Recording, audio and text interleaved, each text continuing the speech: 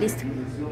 Buenos días, eh, mi nombre es Irene Soroquín, yo soy directora de la Fundación Ronald McDonald eh, para el norte de Latinoamérica y para el Caribe. Está bajo mi supervisión son seis países.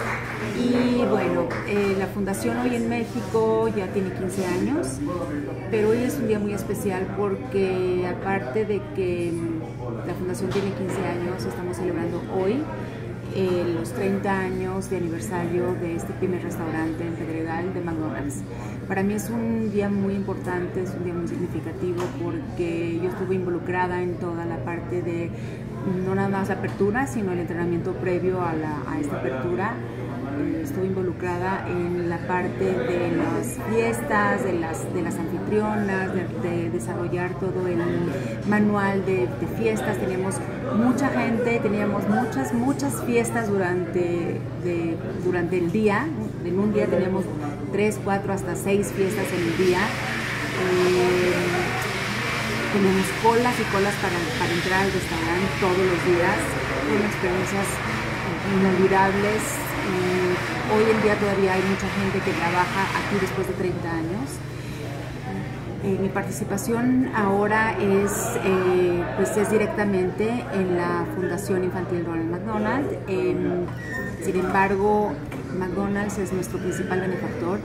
Nos apoyan muchísimo, no nada más en México, sino en toda la región.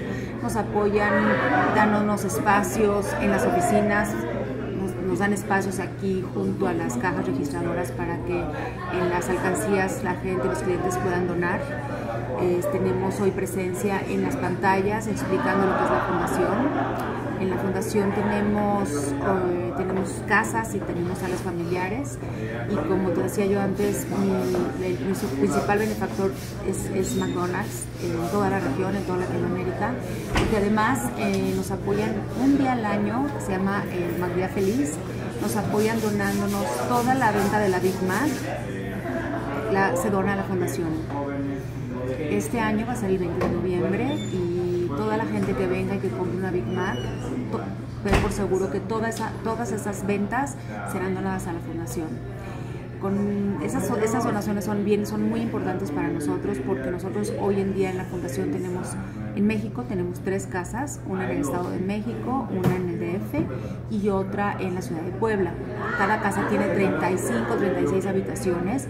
Nosotros les damos hospedaje a las familias que tienen un niño que tiene que tomar un tratamiento médico y no tiene dónde hospedarse. Entonces nosotros, además de hospedarlo gratuitamente, sin, sin ningún costo, porque les damos, les damos ahí una habitación linda, privada, un cuarto, un, baño privado, les damos tres comidas y transportación a los hospitales.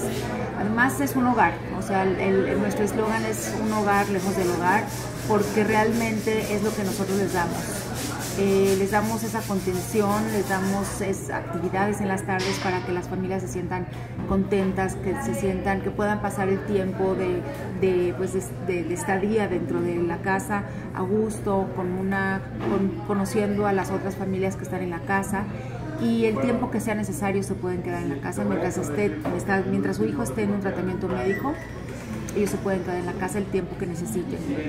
Eh, además tenemos, además de estas tres casas que realmente hacen una función linda, divina, porque impactan directamente en las familias, impactan directamente en el bienestar de los hijos y de las familias, porque tú imagínate que eh, cuando la familia tiene que preocuparse de, un, de dónde me quedo, cómo le voy a hacer, con qué voy a pagar, qué, cómo además comprar, este, pagar, por ejemplo, toda la parte de la comida, no nada más para el hijo, sino también para la familia, todo es un costo muy fuerte que muchas veces las familias no pueden pagar y por eso entonces dejan ese tratamiento médico. Entonces, hoy con nosotros en la fundación se quedan en nuestras casas y de lo único que se tienen que preocupar es de, estar pendientes del tratamiento de sus hijos, porque hasta el transporte nosotros esa parte también la asumimos. Eh, también tenemos seis salas familiares, que las salas familiares son un espacio que nos dan eh, los hospitales públicos en donde los, los niños pueden seguir sus estudios, porque tenemos un maestro multigrado, que es un programa federal que se llama Sigamos Aprendiendo en el Hospital. Los niños ahí pueden seguir sus estudios y porque un maestro multigrado viene, les enseña, les, les, los pone al corriente del grado en donde se encuentran y después del tiempo necesario que tengan que estar en el hospital, esos niños salen y no pierden el año. Entonces se pueden volver a integrar no nada más a la sociedad, sino también a sus escuelas sin haber perdido el año escolar. Eh, esos espacios son también para los padres, para que estén tranquilos, para que estén en un lugar digno, en un lugar cómodo, mientras sus hijos están en el hospital.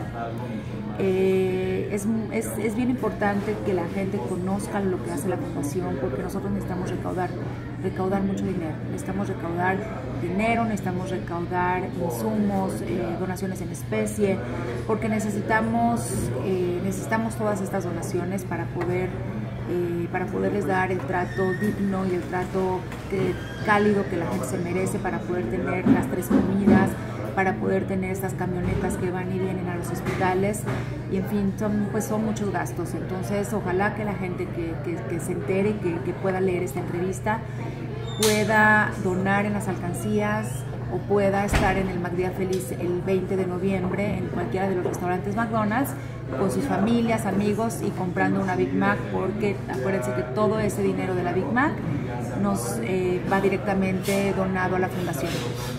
Muchísimas gracias, gracias por este espacio, gracias por el tiempo. Y pues no sé si hay alguna pregunta, alguna